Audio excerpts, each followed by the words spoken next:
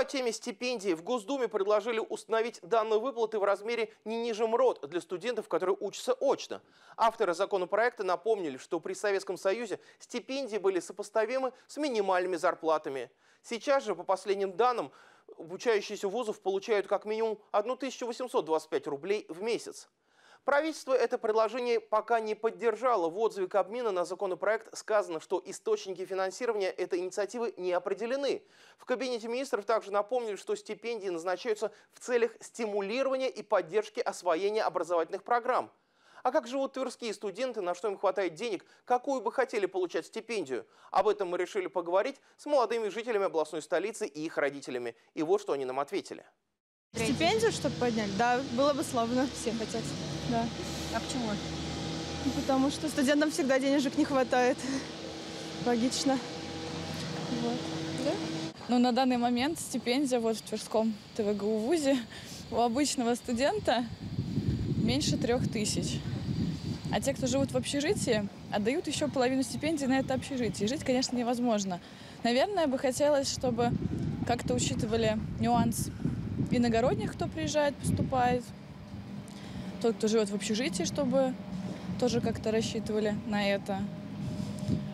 Ну и льготники там, естественно, у них побольше стипендий, у кого по каким-то причинам. Устроиться на работу, вот, так как не позволяет учеба им. Так что, ну и если есть возможность, конечно, студенты пускай работают. Но по мне, наверное,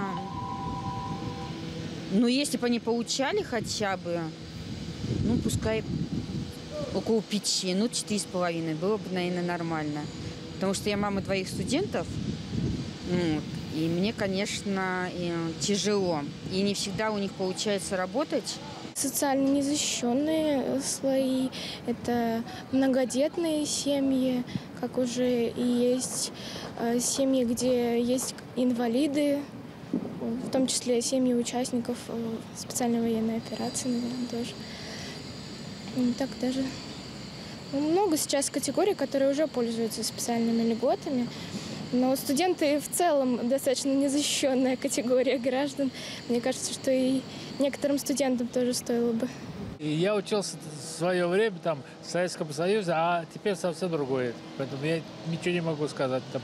Чем больше, тем лучше. Я прекрасно понимаю, что ни пенсии и ни стипендии, они сейчас не соответствуют текущему состоянию. Все. Смотрите, я сама работаю, и так получилось, чтобы ну, у нас не платят стипендию, приходится помогать родителям, вот, и чтобы оплатить за обучение. Приходится, потому что стипендии вообще не дают. Но раньше было, конечно, но не сейчас. Вот, очень трудно. Я считаю, что стипендия у нас в данный момент не соответствует желаниям, потребностям студентов, потому что стипендия должна она быть все-таки, как у нас в Госдуме сказали, по объему прожиточного минимума.